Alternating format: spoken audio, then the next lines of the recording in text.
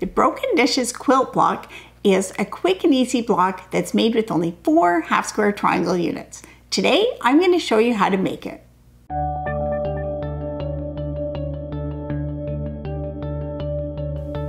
Welcome to Epida Studio. My name is Elizabeth and I help you make beautiful things with quilting, pojagi, and embroidery. So to make the Broken Dishes quilt block, you only need a couple of things. I'm making my block with a background fabric and two different colors, but of course you can do this in a lot of different colorways. For this block, you're gonna need two seven inch squares of background fabric and then one seven inch square of each of your colors. With these pieces, you're going to make half square triangles.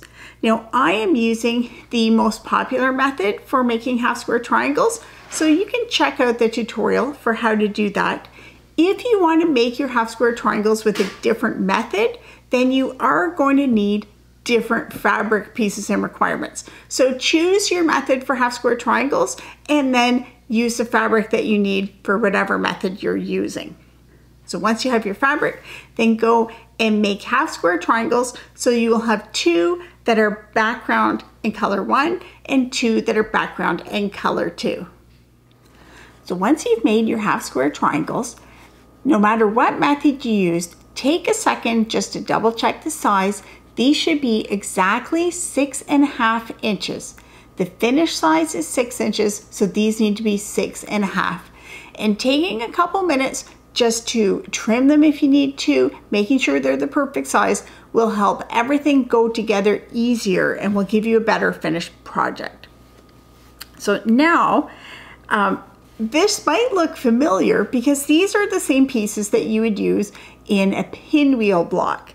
And I don't know if Broken Dishes um, started out as somebody trying to do a pinwheel and putting it together wrong. I'm not a quilt historian, but that very well could have been a very early design choice, as some people call it. So instead of joining these with all the points going to the middle, we're joining these with the points going to the outside. And I'm laying these out so it's alternating um, blue and green so we can see I have the two blue triangles pointing to the inside and the two green triangles pointing to the outside. So this is the layout. Now I'm just going to join these squares using a quarter inch seam.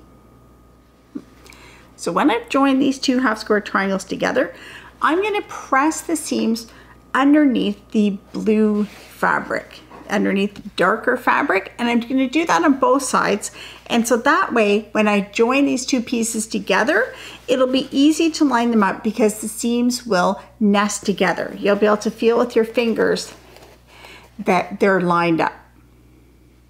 So here's a finished block. This block is quick and easy and it's a great scrap buster.